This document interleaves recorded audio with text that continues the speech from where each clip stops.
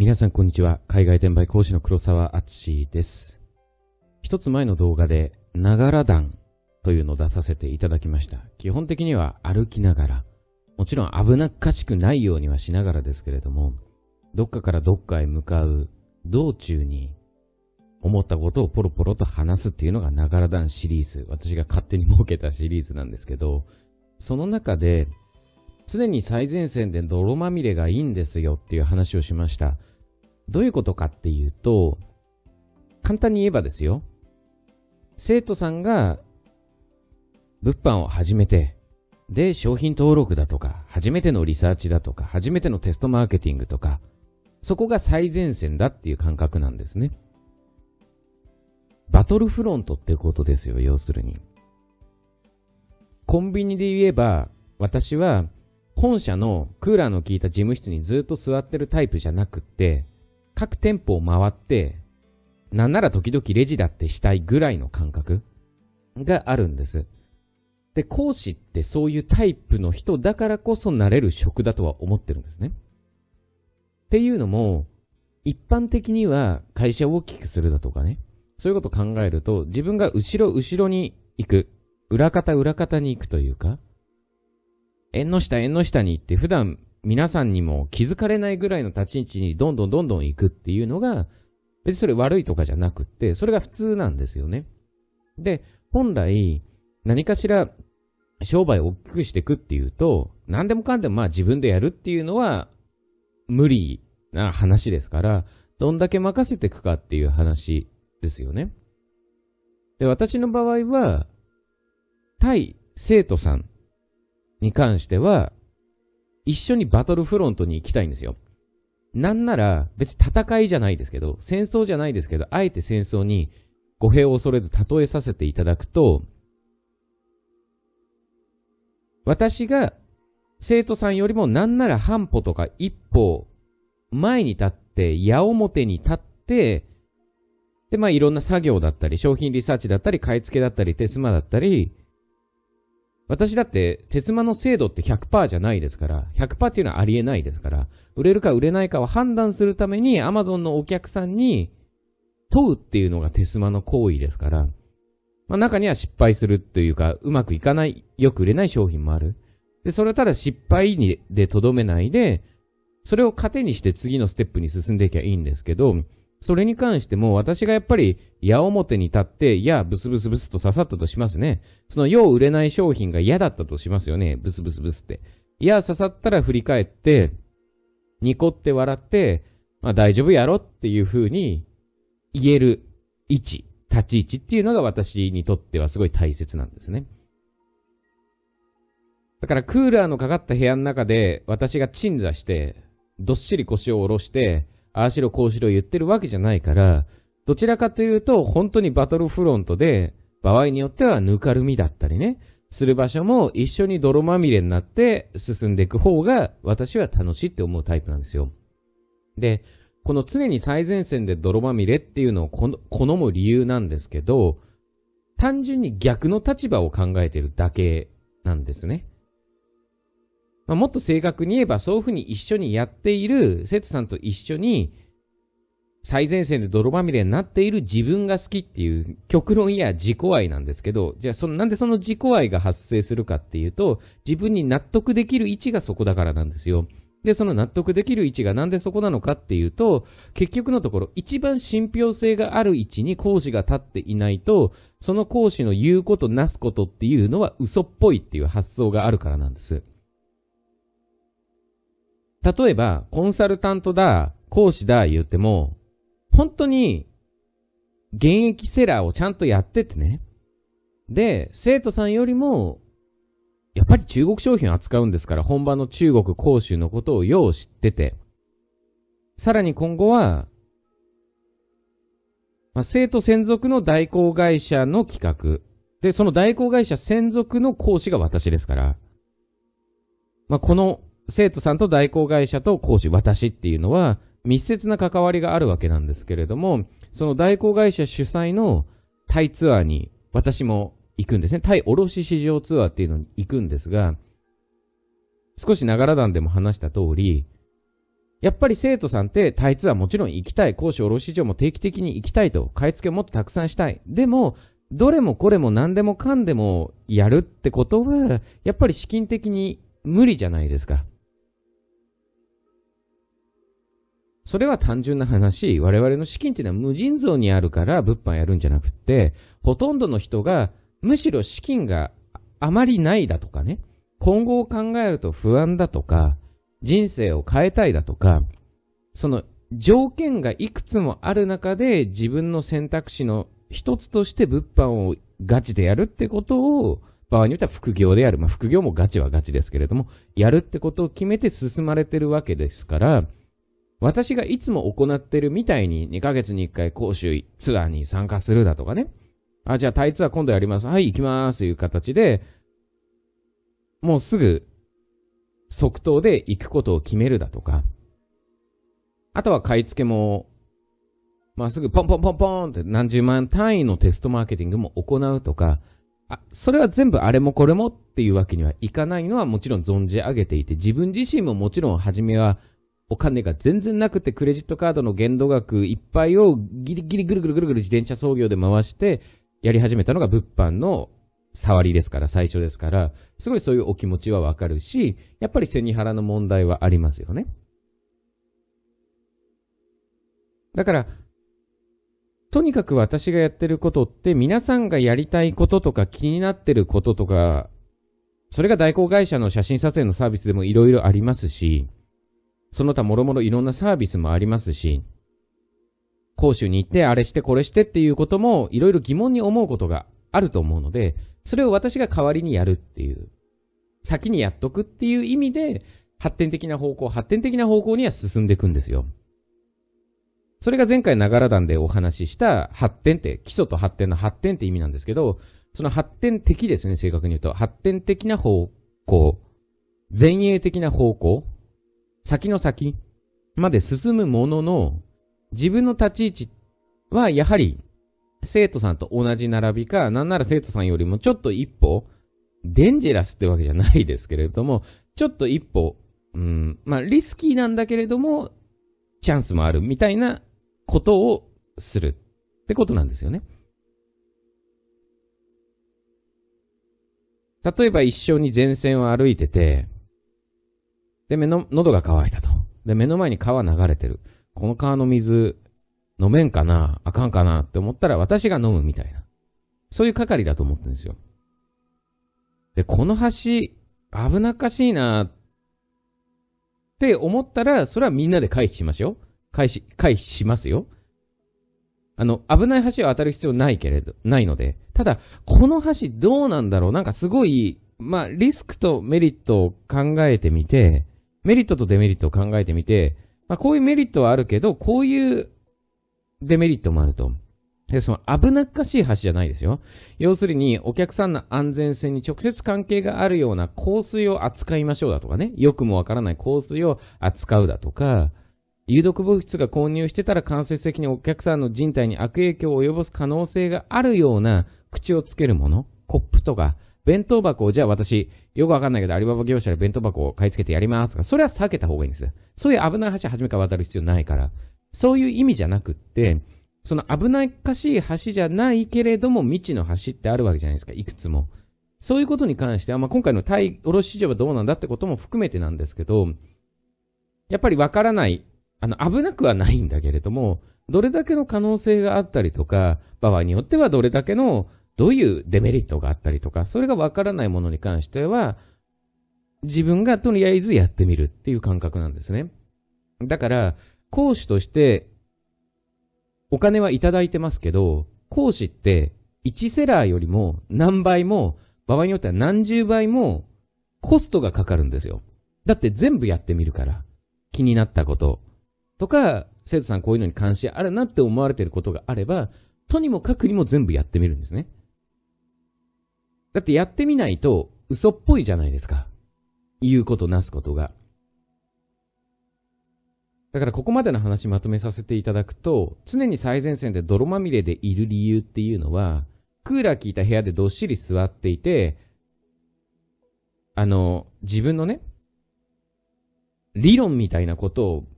カーカーカーカー言う人って、私は信憑性あるとは思えなくって、やっぱり実際動き回ってる人が好きっていうのがあるから、その好きな人に自分がなりたいからそうしてるっていう感覚なんですよね。だから究極の自己愛だなんて言ったんですけど、結局のところ物販業界って、まあいろんな人いますけど、例えば、まあネットビジネス業界ってもっとでっかいくくりで考えると、例えば、海外旅行ここ行きました。日本のこんな高級リゾートホテルに泊まってきました。みんなでどこどこ旅行行きましたっていうのをひたすら Facebook で投稿してるような指導者、自称指導者みたいな人って私ってなんかすごい違和感感じちゃうんですよ。もちろん私だって自分が買おうと思ってたパソコンこの前買いました LG グラムだとかね。でもそれって、これ自分の勝手なね、自分を美化しちゃってるのかもしれないけれども、全部、その物販のための投資として、使えるものとしてやってるわけですよ。だから健康器具買うというかトレーニンググッズ買うのだって、トレーニンググッズを買ってワークアウトをすることによって脳の神経細胞を活性化させて、より効率的にビジネスと対峙することができるからで、それが、ちゃんと生徒さんの指導時にも、私が鋭敏なね、感覚を持ち合わせていた方が、より的確なアドバイスができるからって、やっぱり物販とか講師っていう立場であることを視点として、起点として、結果としてあれを買う、ここに行くっていうことをやってるんですよね。それを、なんかとにかく自分は遊んで、ヘラヘラ遊んで、ヘラヘラっていう言い過ぎかもしれないですけど、まあ、遊んで、で、それ見せて、皆さんもこんな風にリッチになりたいならこれやりましょうっていうのは、なんかね、ちゃうなっって思っちゃうんですよね。個人的には。で、理由は簡単で、その、ヘラヘラ遊んでる金って生徒さんのお金だよね。っていう感覚があるから、生徒さんのお金は少なくとも間接的にでも生徒さんに還元することに使いたいっていう感覚を持ってるからですね。で、あと同時に自分は現役のセーラーだから、自分がどっか遊びに行きたいのであれば自分で買い付けして、その利益でどうにかするんだったらいいとは思いますけどね。だからヘラヘラ遊んでて、もう現役で、まあメルカリだったらメルカリのコンサルタントとかね。アマゾンだったらアマゾンのコンサルタントだとか。いや、自分もやってないんちゃうみたいな。やってる気配ないんですけど、みたいな。やってるとしても人任せにもうしちゃってて、自分はもう関係ないっていう状況にしてると。で、それは繰り返しになりますが、会社を大きくしていくとかね、ビジネスを拡大していくことに関しては、正しい選択ではあるんですけど、とはいえ、とはいえ、一番大好きなことだから周りの人にシェアしたいんですよね。伝えたいんですよね。で、一番大好きな海外転売をなんで周りの人に言うかっていうと、私の二つの目よりも周りの人たちの目で、同じ海外転売っていうのを見つめた方が、いろいろな角度でいろんな意見とかアイデアが出てくるので、私にとってもプラスだからなんですよ。だから、みんなでやろうぜと。ただし、物販っていうのはしんどいもんだから、まあ、適当にやれ稼げるっしょみたいな人が来ちゃうと困るので、それはサメの防護用ネットみたいなもんで、私は、生徒さんは選びますよっていう言い方してるんですよ。選びますよっていう言い方すると、ほんとなんかすごい厳しくって、私の好き嫌いで生徒さんを、いや、あなたとは一緒にやりませんみたいなことを平気の平ちゃんで言ってるように聞こえるかもしれないですけど、そうじゃなくて、そういうふうに言っとかんと、万が一、とんでもな人が来た時に、断れなくなっちゃうから、そんなこと言ってなかったじゃないかって言われるから。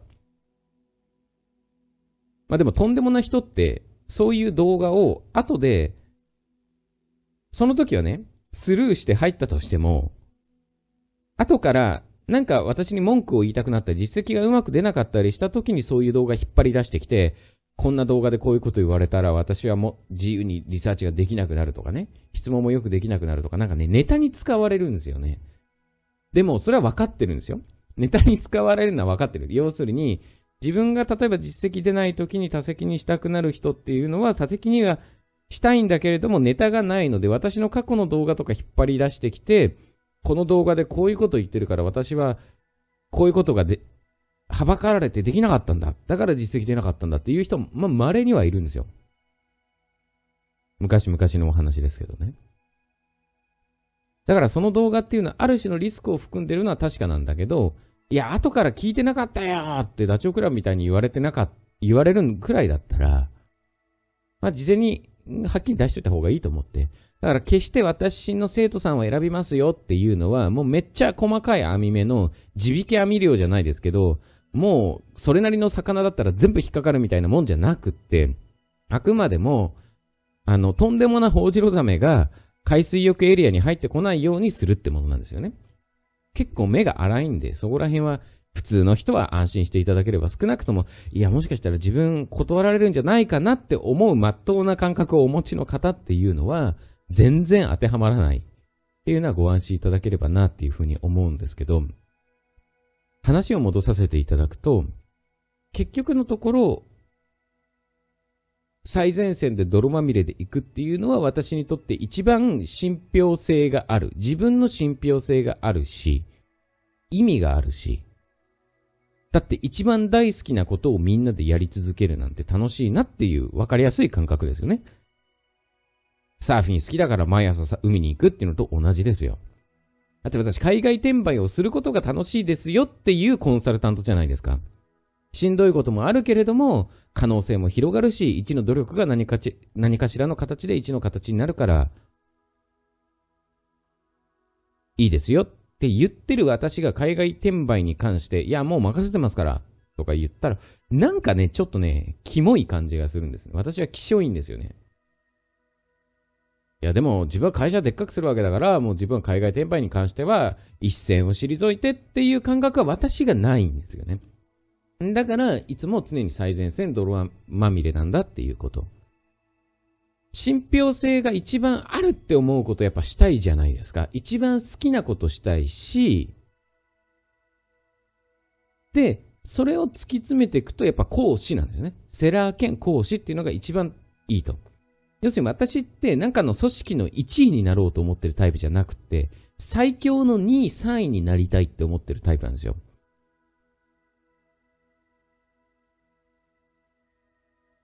で、一番トップの方っていうのは、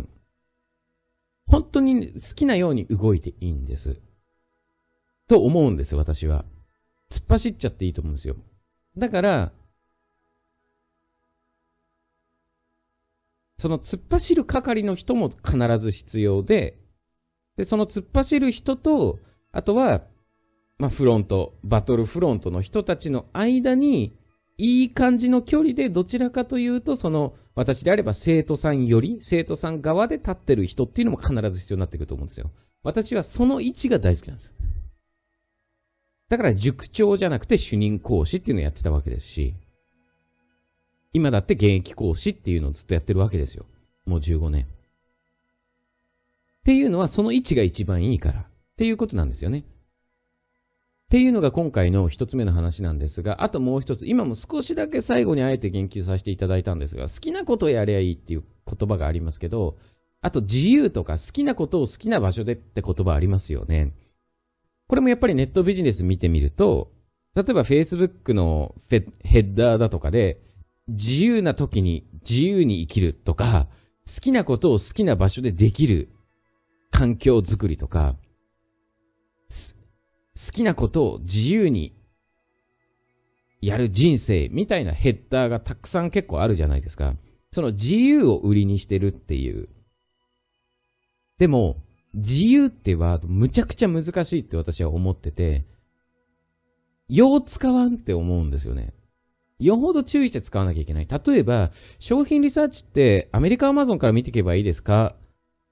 アリババから見ていけばいいですか？場合によっては楽天とか日本アマゾンから見ていった方がいいですか？って中国、アメリカの物販をやっている私の生徒さんに聞かれたとしますよね。で、ぶっちゃけた話答えは自由なんですよ。え、自由にリサーチしていいですよって。要するに逆立ちしようが瞑想しようが、駅前のカフェでずっと外眺めながら考えてようが、何したって商品リサーチになるんですよ。なりうるんです。だから答えは一言で言えば自由なんですけど、もし講師の私が、いや、自由で、どんなリサーチでもいいですよって言ったら、へってなりますよね。え、だからその自由って、ん何っていう、その、無限です、みたいな 何でも OK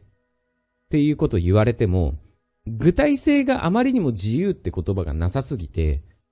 まあ結局多様性っていうのがありますからね。人によって自由の定義がいろいろあるから自由って書いてるんだよっていう人もいると思うんですが、その自由っていうワード自体の定義が、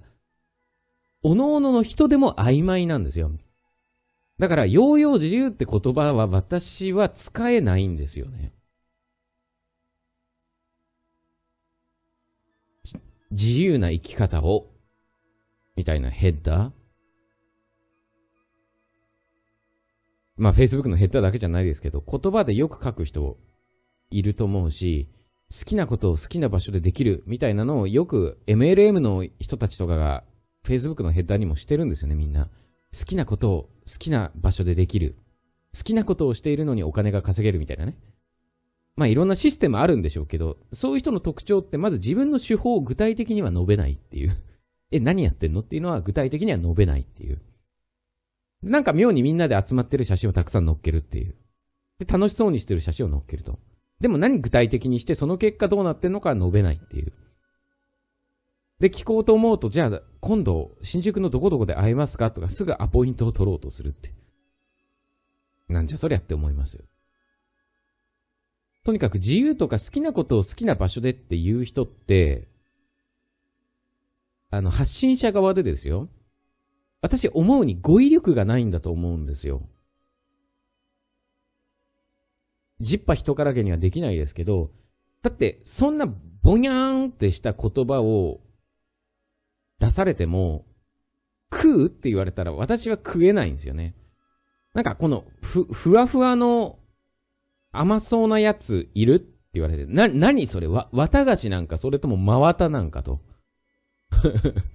わかんない、わかんないことをぼさって言うのはちょっと私は嫌で、なんか具体性か例えが欲しい。例えば、ツラトゥストラ各語り人からルファルド・エマソンの精神についてって本は、ほとんど比喩表現なんですよ。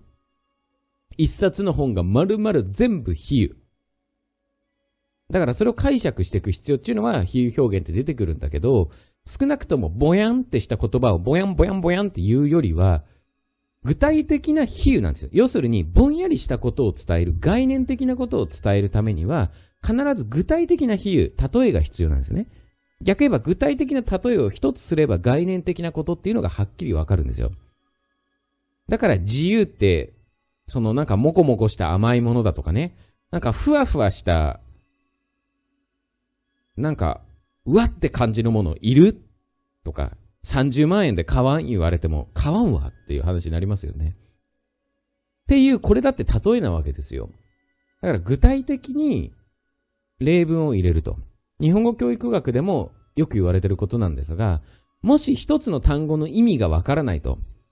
しばしばの意味がわかんないとする。しばしば彼と会いますだとかね。あとは文法でも、そうですね。一つの文法がわからなかったとする。もし雨が降ったら、遠足は中止です。もし晴れたら、どこどこに行きましょう。その、もし何々たらっていう文法がありますが、その文法の意味がわからなければ、5つ具体的な例文を実際の生の日本語から集めてきなさいと。まあ5個と言わずできれば10個なんだけれども。5つその文法を使った例文を集めたらその文法の意味がわかるって、よく言われてるんですよ。日本語教師はよく言ってるんですよ。それと同じように、好きな場所で、好きなことを好きな場所でとかね、リサーチ自由ですとか、まあ、リサーチだけじゃなくて、自由な生き方をしましょうとかね、かっちょいいし、火の打ちどころはないんだけれども、空ですって言われてるようなもんで、だから空の何みたいな。空の何の何がどういいのっていう。自由ですって言われても、わかんないんですね。目指すものとしても、やることとしても、自由ってワードはあまりにももっこもこもんやもんやしてて、よくわかんないんですよ。だから、個人的には自由とか好きなことを好きな場所でって言ってる人って、なんかちゃんとその良さ、やってることの良さとか、やってることの利点とかをアピールしきれてない気がしちゃって、それがもし講師であれば、商品リサーチに関して、自由ですっていう人、やる気ないんちゃうかなって思っちゃうんですよね。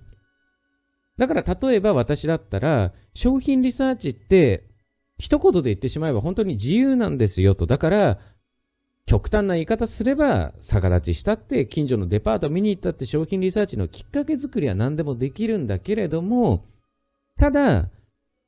もやもや言っても仕方ないので、ちょっと長くはなりますけどね。もやもや言っても仕方ないので、具体的に一つ言わせていただくと、我々は中国で仕入れてアメリカで売る物販ですから、アメリカの販売国の販売サイトの情報っていうのが一番重要なデータです。だから、もし探し方がわからなければ、アリババからでもなく、わざわざ日本の楽天とか日本アマゾン見るわけでもなく、なんか気になった商品をまずアメリカのアマゾンで検索してみて、その検索結果から絞っていく、検索結果から調べていくっていうのがいいですよっていう、具体的な一個の例は出すんですよ。実例は。とっかかりとか、きっかけ作りとしてね。だから自由ってワードって、逆立ちから米国アマゾン発信リサーチまで何でも OK って意味なんですが、ほやんってしたまま渡されちゃうと、なんだなんだなんだってなっちゃうので、実は自由とか、好きなことをやりましょうとか、自分らしさを、とは何かみたいな、自分らしい人生を、とか、よく書くじゃないですか。いやだから自分らしい人生とは何かって考えてる人に自分らしい人生をって言ってもわかんねえよって話ですよね。だから、自分らしい人生って何って言ったとき、重要度の部分関数的順列とか自我とかいう話になって、それでもまだ分かりにくいから、私はこの世に生まれ落ちてきた時っていうのは我々が白紙だったと。ある意味、精神的には白紙であり、ドロドロで、いろんな形に変化できるような状況だったのが、自分のお父さんから、ご飯はこういうふうに食べなさい。お母さんからこういうことしちゃいけませんよ。学校の先生から、お前はこういう人間だとかね。友達からお前ってこういうところあるよなとか言われてたのが全部。で、メディアの洗脳で、高級車乗ればモテるだとか、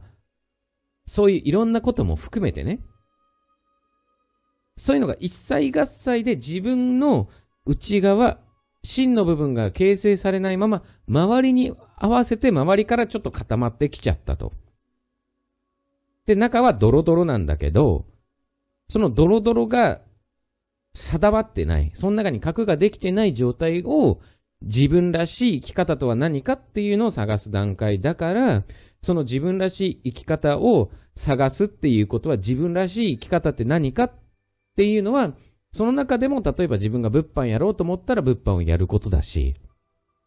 講習に行くんだったら講習に行くことだと思うし、で、具体的にそれを行うと、どういう意味で自分らしさっていうのが分かってくるかっていうと、自分らしさって重要度の部分関数的順列で、自分の中で何が重要かっていうことの羅列ですから、順列ですから、例えば、実際に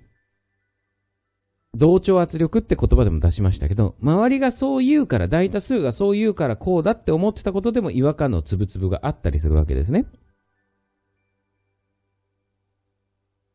その中で、いや、自分はこう思うって感覚をしっかりと保持していれば、その人っていうのは自分らしい生き方に近づいてくるわけだし、商品リサーチも何でもかんでも、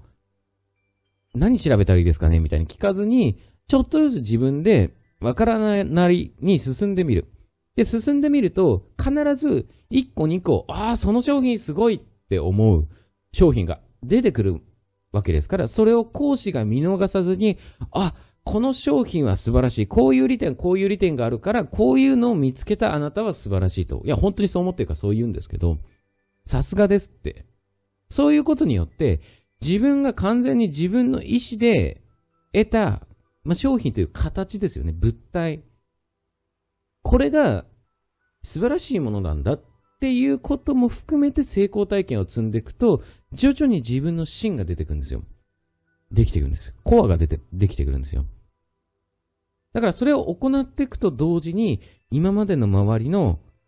勝手な洗脳というか、そういうもんだっていうふうに疑わずして生きてきたような部分っていうのも、コンコンコンコンってちょっと壊してあげるんですよね。で、その壊すっていうのが高所路市場ツアーで、日本だと電車の中で携帯使っちゃいけないだとかね。こういう風に生きなきゃいけないって言われたその我々の周りのちょっとこの固まってきた部分あの、水がひょ、周りからちょっとずつ固まっていくみたいな、氷になっていくような感覚で、周りから広角ができてるわけですね。広角類になってるわけですね。その広角を一部パキンパキンパキンと壊してやんないと、中国の形っていうのはもう自由ですから、その中に自分がはまりきらないんですよ。カッチコチだと。だから、壊して飾るを得ない。電車の中で携帯で話してる人見て、いちいち日本の広角の状況で日本のルールに従って、なんであいつ話してんだクソって思ってたら、疲れて疲れてしゃあないわけですよ。だってそんなルールない国だから。だからその中で、あれ？日本だと今までこういうもんだと思い込んできたすごい簡単な話。電車の中では、携帯電話を使わない、使っちゃダメっていうルールもパチって、ちょっとパキって壊していくんですね。そうするとパラパラパラパラって自分の周りを覆っていたある種透明の広角みたいな。自分ですら意識ができていないガラスの壁とか天井とか床とかがパリパリパリパリパリパリパリパリって経年劣化した鉄の表面の塗装っていうのがペラペラペラペラパリパリパリパリ剥がれていくような感じでペラペラペラペラめくれてくるんですよ。もしくは女性的に言えば古い角質を除去するような感じで、ピールするような感じでパラパラパラパラってめくれてくる。そうすると、めくれた部分っていうのは、覆うものがないですから、自分がどうしたい、こうしたいっていう気持ちが、うわんってそこ伝って外に出てくるんですね。要するに流動的になってくると。ただ流動的になるだけだと、べちゃーってなって、結局氷を机の上に置いといたら、時間経ったらべちゃーって広がって終わりじゃないですか。そうなっちゃっちゃ困るから、単純に人は、まあ、防衛規制というか、本能として自分の考え方を周りの世界が広がっていくのと、比例して自分の中心っていうのも作るんですよ。だって作んないと、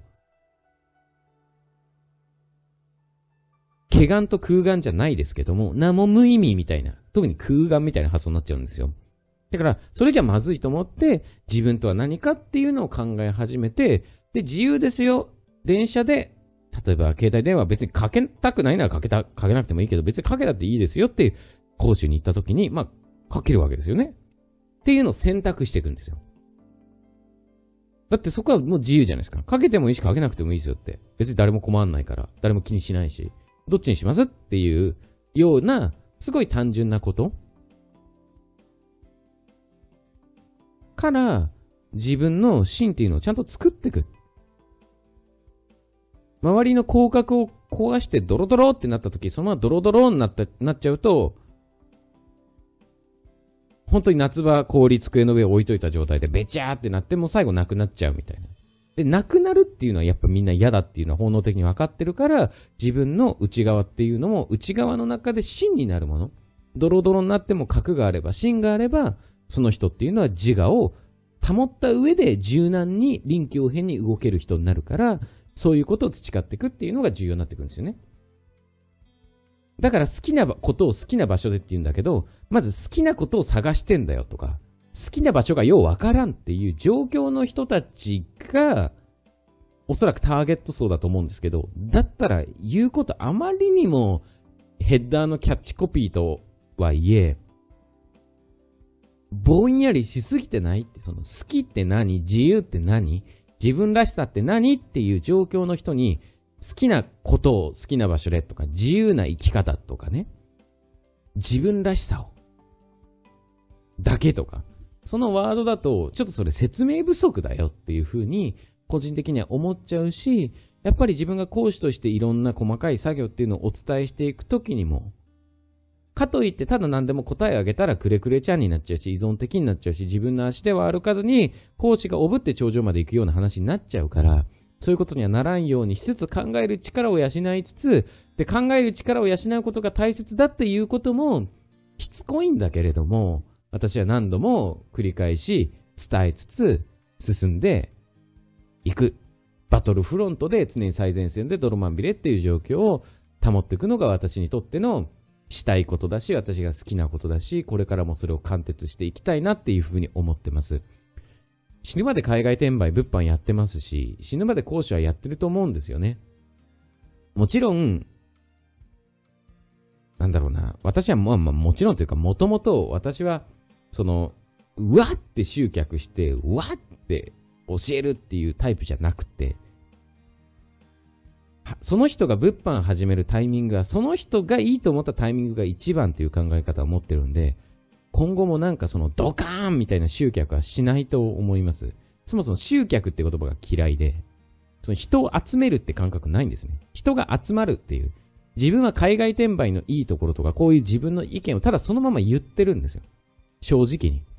で、そこに共感してくださった方が集まって、やっぱり学費だとか買い付けの費用とか必要だから資金が貯まったタイミングで始めたりとか、本当に今始めないともうダメだ